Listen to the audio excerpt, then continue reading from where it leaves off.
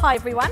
Today we've come out to Rangiora to our roastery cafe and I thought it'd be great if we could just go through some of the processes that we've been talking about. Today we're going to see Josh doing a little bit of roasting. Hopefully you'll get a little bit of extra information out of hanging out with us today here at Coffee Worx at Rangiora. Hey, my name's Josh. Um, I do the coffee roasting here at Coffee Worx. We do about sort of eight different blends that we've got here. This is a Garanti uh, 30 kg roaster from Turkey that we that we use here. We roast about 20 kgs at a time, and we do a thing called uh, pre-blending. So what we do is we measure up our roasts, ratio them up, chuck them up into here, which is the uh, hopper, and um, from there we drop down into the the drum roaster. And so we usually drop in around 200 to, you know, maybe a little bit higher than that, 200 degrees around about though. The gas comes up from the bottom and basically the drum rotates around. And so that's just that's just cooking the whole time. We um, cap it off at 210, so we don't go any higher than that. And uh, basically that'll do its thing for sort of around 20 minutes uh, per roast. So around the sort of 16 to 17 minute mark, we'll start getting a thing called a first crack. So it's when the beans first start to crack, and that will sort of last around a minute. And then from there, it's about an extra couple of minutes before the roast is finished and ready to come out into the cooling tray. So it's usually around sort of 19 to 21 minutes that that takes. Some roasters will obviously roast, you know, a little bit uh, less some will you know, roast longer, so we're aiming for the second crack just to start coming through a little bit louder. When it's quite sort of prominent, that's when I pull out usually.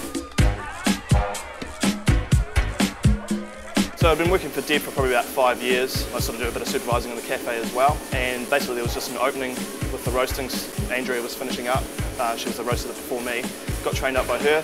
Started learning, um, you know, getting a bit more passionate about coffee and, and all the ins and outs of it. So that's basically why I wanted to learn how to roast. Um, really like my coffee. I probably drink about four a day. My morning one I have about uh, four shots in it. So yeah, so I really like uh, I like a good coffee.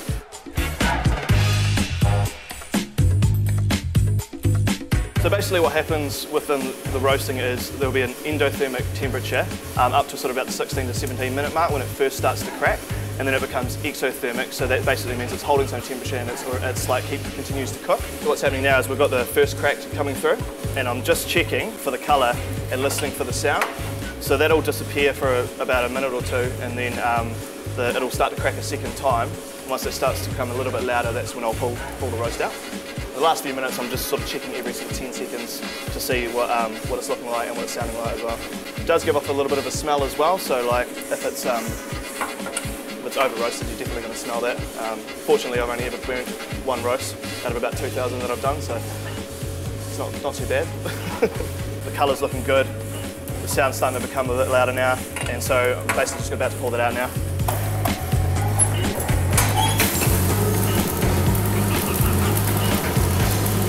there we have it. So now basically the cooling tray is um, coming through, so the cold air is coming up, and that's basically going to take about five minutes for that to cool down.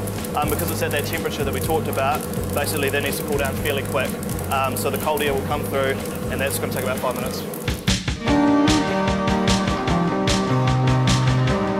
So after the beans have finished cooling down, what we do is we put it into the distoner.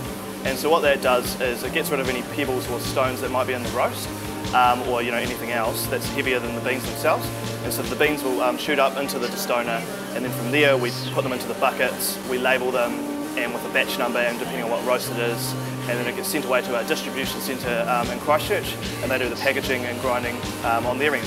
It goes out from there to the, um, to the customers that we supply. Thanks very much. That was a quick overview of coffee roasting here at Coffee Worx. Come check out our cafe and roastery uh, here in Rangiora on the corner of Blackett Street and Ashley Street. Come and get a coffee off us. Hope to see you soon.